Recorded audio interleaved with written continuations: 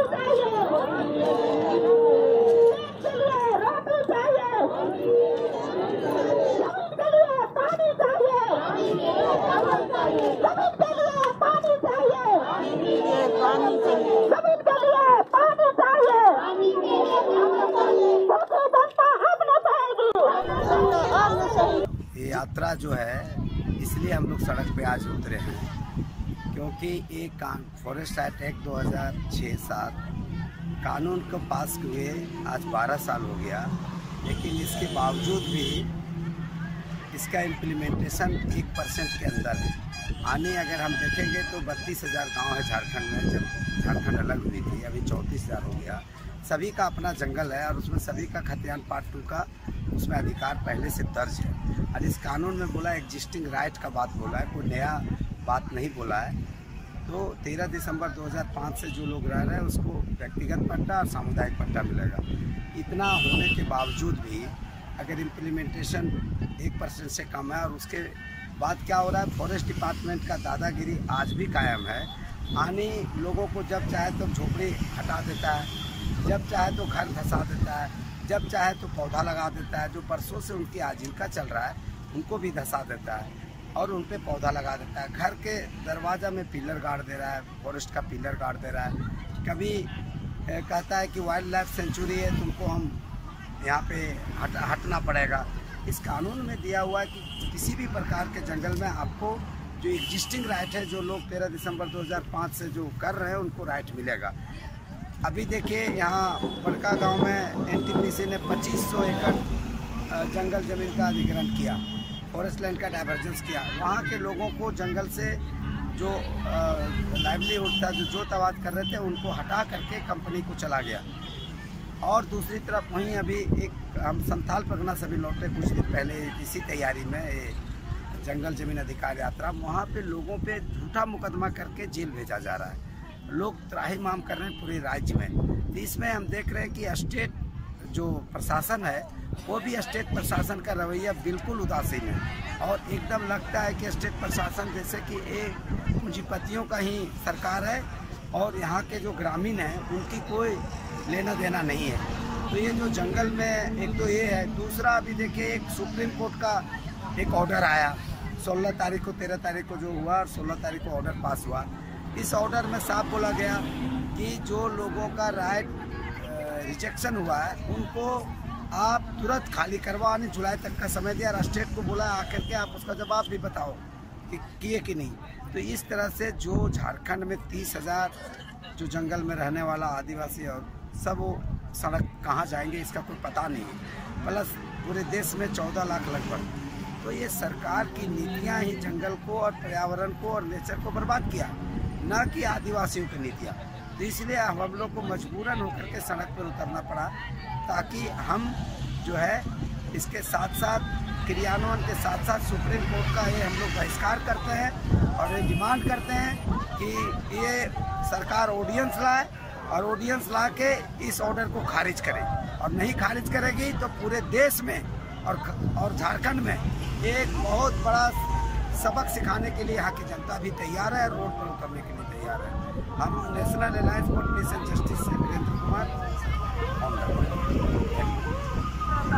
होता है ढेलवा होता है गठोर होता है कनौद होता है फुटका उठता है घुसरी उठता है कितना चीज़ होता है आज लोग के जंगल में एगो एगो घास भी नहीं पैदा होता इसलिए लोग को समझाना है कि देखो तुम से जंगल लोग ऐसा जंगल लगा रहा है तो जो संसार को विनाश करेगा, यहाँ के जीव जंतु प्राणी पूरा खत्म हो जाएगा। की जैव विविधता का संरक्षण आपके जो पेड़ लगाने का जो तरीका है, उसे जैव विविधता का संरक्षण होने वाली नहीं है। क्या कि जैव विविधता में खिड़की छोटा पिपली, सब कुछ है, उससे खाते पीते सब रहते हैं। तो जैव विविधता सुरक्षित रहती है, ज़मीन की उर्वरा शक्ति बनी रहती है।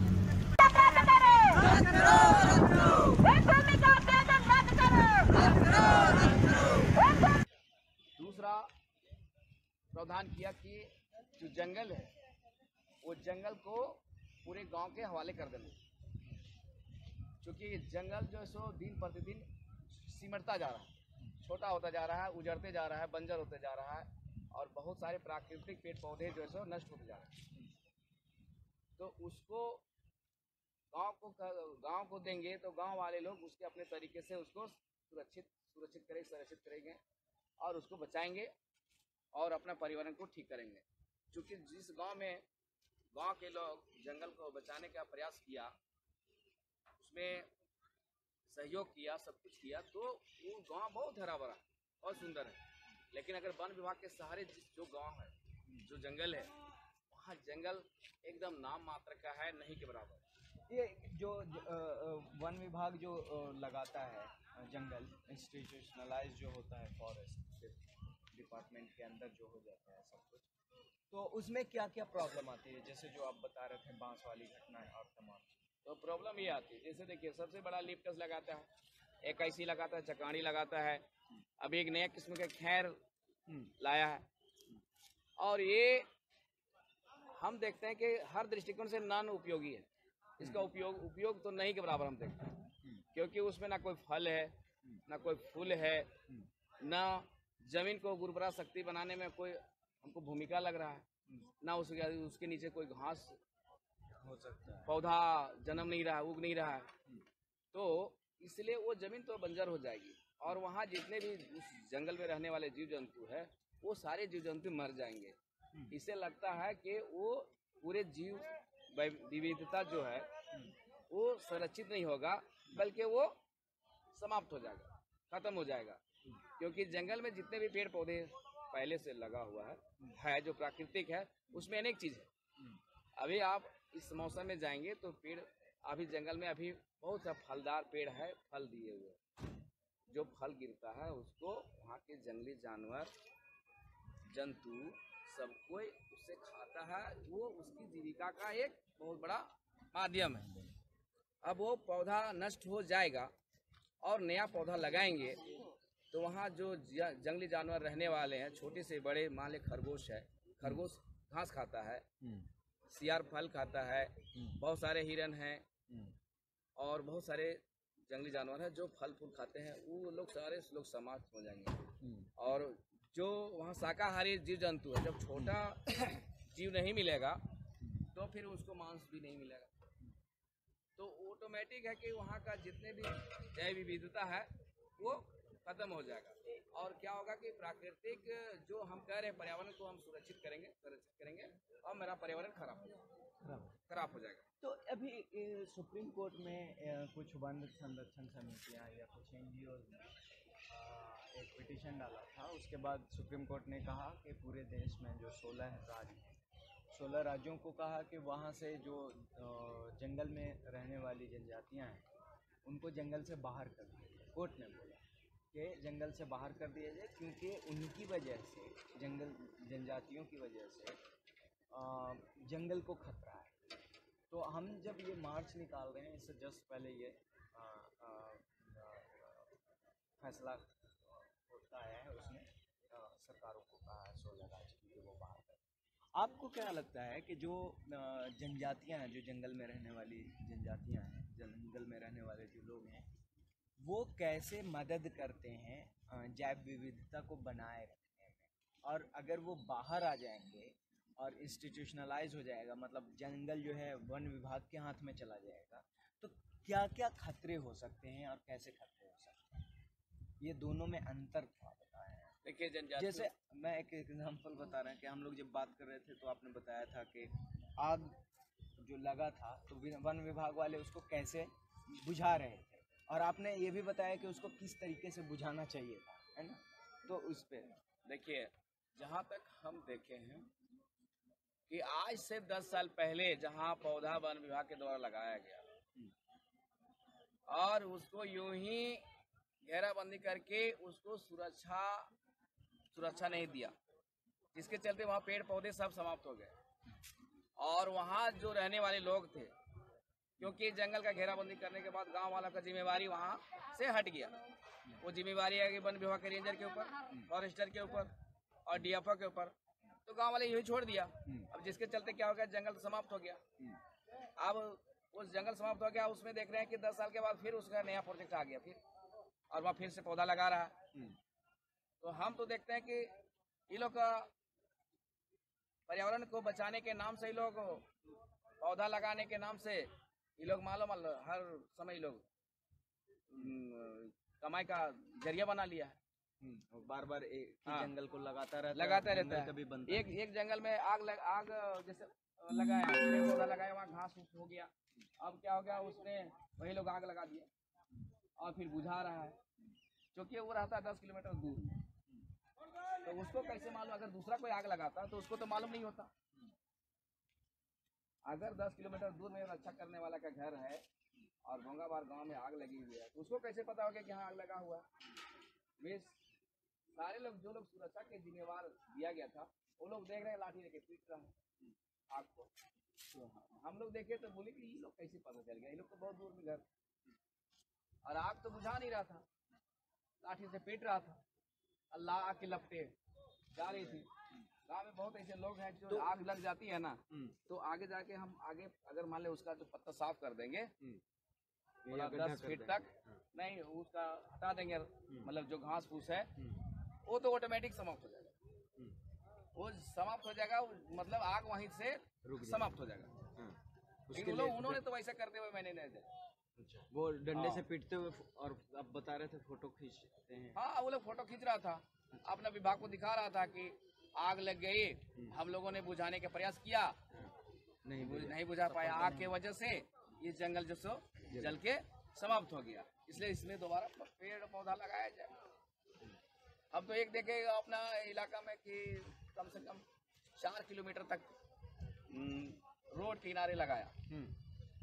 पेड़। पेड़ लगाया। अब वहाँ क्या हो गया कि पेड़ पौधा तो लोग बढ़िया से सुरक्षित सुरक्षा दिया नहीं। बैल बकरी खा गया। और बैल बकरी खाया और कुछ ऐसी हुई छोड़ दिया। बरसात में पानी आया उस जो घेरा लगाया था घेरा गिर गया। घेरा गिरने के बाद क्या हो गया कि पेड़ पौधा तो नज़र नहीं आया कुछ गर्मी में मर गया बहुत सारे पौधा। बहुत पौधे मर गए गर्मी में। दोबारा उन्होंने लगाया नहीं। क्या किया कि जो घेरा किया था बाँस का था वो घेरा को वहाँ से सब सड़क से हटवा दिया ता- और अभी आप जाएँगे तो वहाँ पता नहीं चलेगा कि यहाँ कोई पौधा लगाया था। एक भी पौधा नहीं। तो जो सुप्रीम कोर्ट ये करे कि जनजातियों की वजह से जंगल को खतरा है हमको ऐसा नहीं लगता है कि जनजाति कभी पेड़ काट के बेचा होगा। शहर में जो इतना बड़े बड़े मकान बने हुए हैं जितना फ़्लाइट बने हुए हैं वहाँ जो लकड़ियाँ हैं वो लकड़ी कहाँ से आया? सब जंगल से ही लोग ले गया। काट के। बता रहे झारखंड में बहुत मोटा मोटा लकड़ी था। उसको देश आज़ादी के बाद बहुत बड़े पैमाने पर शहरों में ये लकड़ी काट करके जंगल से उस शहर की ओर भेजा गया। और उस समय जो उसका नस तोड़ दिया और उसी समय वो सरकार इसको तो सब डिपार्टमेंट जंगल उजाड़ा। गाँव वाले आज तक किसी को व्यापारी करते हुए मैंने तो नहीं देखा। इस जंगल को कोई ट्रक में ले जा रहा है और मार्केट में बेच रहा है इसका भी इसका व्यापार कर रहा है। उसका जितना उपयोग के लायक है बस जितना उपयोग करता है बस उतना ही रखता है। उपयोग से अनावश्यक चीज़ें वो नहीं रखते। सो हम लोग इनसे बात कर रहे थे ओवरऑल जो जंगल की स्थिति है और आज जो तीसरा दिन है हमारा, तीन दिन तक हम लोग लगातार जो भी साथी हैं वो चलते रहे हैं। अभी हम लोग रामगढ़ डिस्ट्रिक्ट पहुँचे हैं और आगे भी चार दिन बाद पहुँचना है रांची तक। इस बीच में सुप्रीम कोर्ट से जो फैसला आया था कि जो फॉरेस्ट डिवेलिंग कम्युनिटीज़ हैं उनको वहाँ से बाहर किया जाए क्योंकि उनसे खतरा है जंगल को। लेकिन प्रैक्टिकली जो बात की जाती है टेक्निक्स की या जंगल को पालने की या जंगल के साथ रहने की तो या फिर ओवरऑल जैव विविधता की एक इकोलॉजी की तो उसके लिए ज़रूरी है कि जो फॉरेस्ट डेवलिंग कम्युनिटीज़ हैं वो अ, साथ में रहें। अगर वो माइनस हो जाएँगी तो बड़ी प्रॉब्लम होगी। अब जैसे ये बता रहे थे गंजू जी के फॉरेस्ट डिपार्टमेंट जो है वो यूक्लिप्टस का जंगल लगाता है। यूक्लिप्टस जो है वो ना सिर्फ़ ज़मीन को ख़राब करता है बल्कि ना फल देता है ना छाँव देता है है सबसे ज़्यादा पानी का वो हाँ और पानी भी आ, आ, ये करता है। तो उससे ओवरऑल ज़मीन ख़राब होती है और इससे छोटे छोटे जीव जंतु मरते हैं और छोटे से उससे बड़े मरते हैं और अल्टीमेटली वो जो है, मांसाहारी जीव जंतु जो होते हैं उन पे भी बन आती है तो वो भी मरते हैं। तो पूरा जो जैव विविधता का जो पूरा चक्र है ना, वो पूरा चक्र टूट जाता है। जैसे ही मनुष्य को वहाँ से बाहर निकाल लेते हैं। मनुष्य एक खास करके जो जनजातियाँ हैं, जो जंगलों में रहती हैं, वो उसका पार्ट है। उसको आइसोलेट अगर आप करेंगे तो पूरा जो चक्र है, वो खराब हो जाएगा। तो इसको एक बेसिक इन्वायरमेंट पे समझ रखने वाला आदमी भी समझ सकता है। और ये जो यात्रा है ना access to forest and right of land का ये सिर्फ़ इनका पर्सनल इशू नहीं है। जंगल की जनजातियों का पर्सनल इशू नहीं है। ये इशू जो है हम तमाम लोगों का है जो मिडिल क्लास हैं जो दिल्ली में रहते हैं। मैं पहली बार अपनी ज़िंदगी में इतना दूर तक पैदल चला और पूरी ज़िंदगी में जितना मैं पैदल चला हूँ, उसको अगर जोड़ लिया जाए तो ये दो दिन की जो यात्रा है, ये पूरी नहीं होगी, इतना नहीं चला। तो इसमें सिर्फ़ कंसर्न ये नहीं है कि हमारा जो अलायंस है, वो इसका पार्ट है, इसलिए चल रहे हैं। ये अलायंस क्रिएट ही इसलिए हुआ कि ओवरऑल जो इन्वायरमेंट है, वो थ्रीट में है। आप जब आगे पीछे हमारे देखें, जहाँ हम रुके हुए हैं बड़ी बड़ी फैक्ट चिमनियाँ लगी हुई हैं। और इससे जो है इन्वायरमेंट को अपना नुकसान फ़ायदा होता है। लेकिन साथ साथ हमको ये भी समझना पड़ेगा कि पेड़ पौधे इसको काउंटर करते हैं जंगल इसको काउंटर करते हैं। तो ज़रूरत है कि हम सब मिडिल क्लास वाले लोग अ, अ, शहरों में रहने वाले लोग और तमाम लोग लोगों के साथ खड़े हों। जैव विविधता को तोड़ने के प्रयासों के खिलाफ खड़े हों। हम किसी सरकार किसी स्पेसिफिक बंदे के खिलाफ नहीं है। एक सिचुएशन जो ख़राब हो सकती है उसको बचाने की कोशिश कर रहे हैं। सो so, मिलाप के लिंक पे जाइए और अपना कंट्रीब्यूशन दीजिए वीडियो को शेयर कीजिए और तमाम लोगों को बताइए कि ये ज़रूरी है। अपनी ज़मीन के लिए पैदल मार्च कर रहे हैं झारखंड के आदिवासी आंदोलनकारियों के, के, आंदोलन का ये छठा दिन है। और आज जो है आ, उनका कारवां जो है आ, ये उत्क्रमित मध्यम विद्यालय पुन्ना प, मुन्ना पतरा में जो है रुका हुआ है। यहाँ से रांची की दूरी करीब जो है बाईस किलोमीटर है। बाईस किलोमीटर है। तो देखिए एक बार आइए आइए देखिए आज यहाँ पे लोग खाना खा रहे हैं कैसे विश्राम कर रहे हैं खाने की तैयारी चल रही है। आ, ये विद्यालय के प्रांगण में लोग किस तरीके से रुके हुए हैं? देखिए थके हारे जो आंदोलनकारी किस तरीके से बैठे हुए हैं। लोग विश्राम कर रहे हैं अपना अपना मोबाइल चार्ज कर रहे हैं।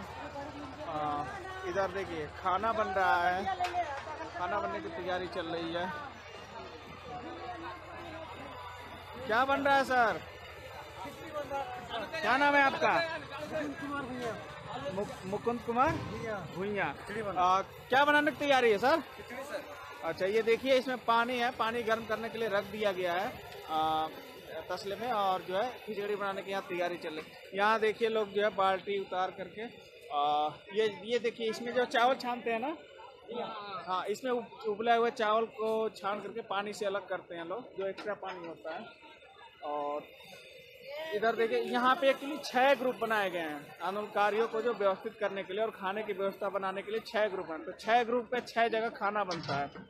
आ, इधर देखिए। आपका ग्रुप पर अलग किधर है? महिलाएँ आ रही है मैं जो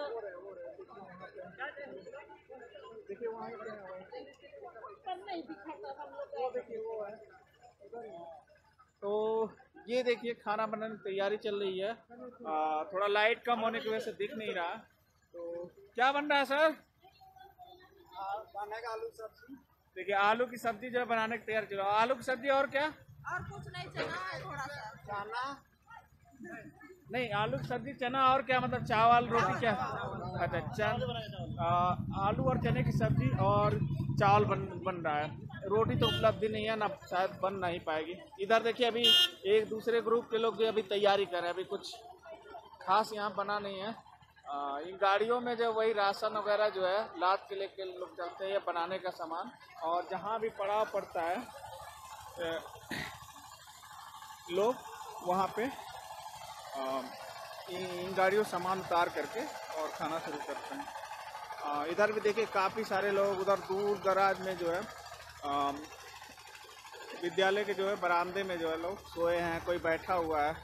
इधर भी अभी कुछ तैयारी नहीं है निकाल के सामान बाहर रख दिया गया गाड़ी से आ, लेकिन बनेगा अभी कुछ देर में जब भी बने। तो इस तरह से काम चल रहे हैं। लोग रात की तैयारी कर रहे हैं आंदोलनकारी यहाँ पे।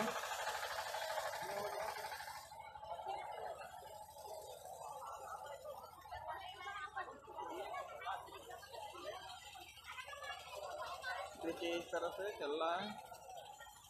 ये जो है लाउड स्पीकर हैं और ये रिक्शा है, अभी विश्राम अवस्था में ये भी हैं। सुबह इन्हीं पे जो है इन्हीं पे माइक लगा करके लोग बात करते हैं। जब इनको मीटिंग करना होता है तो इसको ऑन करके और बात कर लिया जाता है। ये देखिए, प्लेट है, लोग अपना थाली तक साथ लेके आए हैं। देखिए, ये अपनी अपनी थाली है। लोग साथ लेके आए हैं और इसी थाली में खाना खाते हैं और फिर जो है धो के रख देते हैं अपने साथ बैग में रख लेते हैं। ये देखिए यहाँ खाना बन रहा है। आइए पूछते हैं। ये देखिए चावल इधर बन चुका है चावल तैयार है। इसमें क्या बन रहा है? किस चीज़ की आलू गोभी और टमाटर की सब्ज़ी। यहाँ आलू और गोभी, टमाटर की सब्ज़ी बन रही है। तो और भी बातें करेंगे, फ़िलहाल। और हमें जल ज़मीन पर अधिकार चाहिए। वो जो हमारा गरमजरुआ ज़मीन है, उस पर सरकार 2006 के तहत जो पिलर वगैरह गाड़ दिया है, वो हमको अधिकार छीन रहे हैं। तो उसमें हम लोग चाहते हैं कि जो भी अधिकार हैं हमारे जल जंगल ज़मीन में से, जैसे वन दतुअन हुआ लकड़ी और चारागाह और अनेक तरह के जो दवाएँ हैं और कंद, फल, फूल जो है उनसे हम वंचित रह जाते हैं। तो वो अधिकार हमें चाहिए। हमारे जितने भी भाई बहनें हैं, सब हमको चाहिए ताकि हम उसे अपना जीविका उपार्जन करते हैं और अपना जीविका को चलाते हैं। यदि सरकार उसको अपने अधीन में ले लेगी तो हम कहाँ जाएँगे और हमारा जीविका कैसे चलेगा?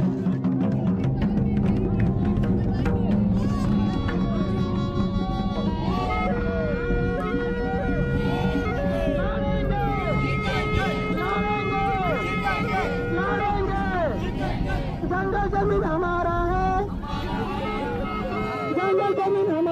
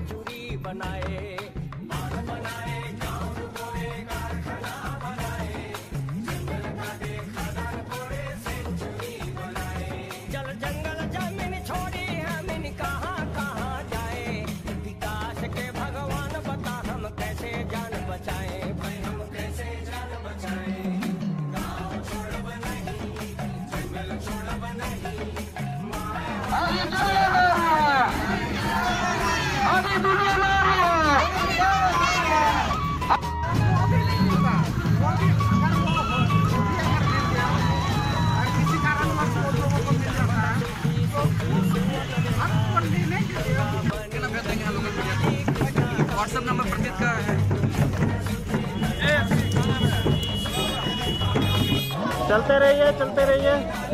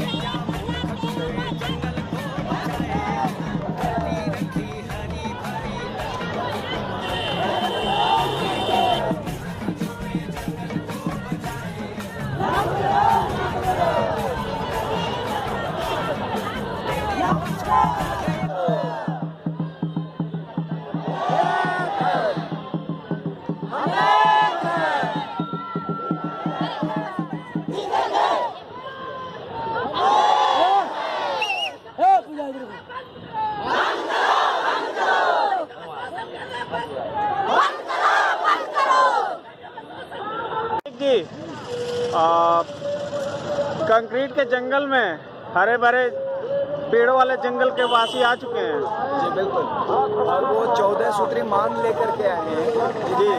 जिनमें उनका जो मांग है वो बहुत महत्वपूर्ण मांग है। एक तो क्या है कि जो गैर मजरूआ ज़मीन की रसीद कटते हैं वो रसीद कटना बंद हो गई है करीब दस साल से।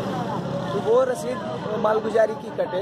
दूसरा जो सामुदायिक पट्टा होता है जो सामुदायिक ज़मीन होती है उसको सरकार भूमि बैंक में डाल रही है। तो आदिवासियों की मांग है कि जब आप शहरों में बच्चों के लिए पार्क बनाते हो तो जंगलों में जो नेचुरल जंगल है उसको रहने दो उसको इंस्टीट्यूशनलाइज मत करो।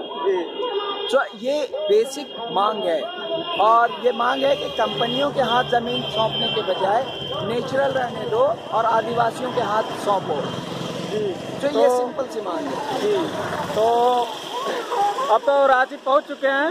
ये मार्ग जो पहुँच चुका है शहरी सीमा में दाखिल हो चुका है। राजभवन में इनकी सुनवाई होगी शायद कल जा रहे हैं राजभवन तक हाँ कल राजभवन राज्यपाल को ज्ञापन दिया जाएगा। जी। और हम आशा करते हैं कि जो हमारी मांगे हैं वो पूरी होंगी। राज्यपाल महोदया जो हैं वो खुद भी ट्राइबल कम्युनिटी से हैं। ये हमारे लिए अच्छी बात है और महिला हैं तो सेंसिटिव भी हैं, मुद्दों को समझती हैं, पढ़ी लिखी हैं तो वो तमाम चीज़ों को अच्छे से समझती हैं।